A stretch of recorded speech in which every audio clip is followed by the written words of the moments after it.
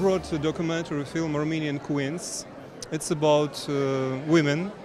Uh, as an old language, Armenian um, preserved very old roots. Uh, so, uh, word woman in Armenian sounds as kin, and it's the same root as English word queen. Oh. So each Armenian woman is a queen, and each woman at all, in general, is a queen. I like that. Thank you. so I was trying to show how important it is for us, for men, to remember that our women are queen, and how difficult uh, for women to bear this uh, weight, to carry this weight. Yeah, because women juggle a lot.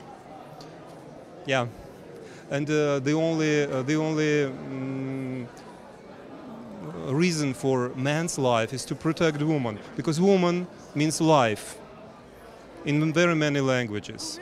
Of course, woman is life, and uh, man is death. Mart, mortus. It's, it's so because I'm a linguist myself. So the language was the first uh, inspiration for me uh, to make this story. It's a story of 5,000 years since matriarchy to present, uh, from uh, the story of the queens to the story of human activists, uh, human rights activists. That's it.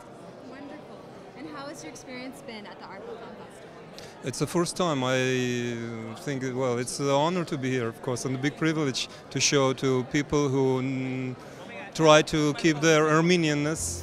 That's important for us.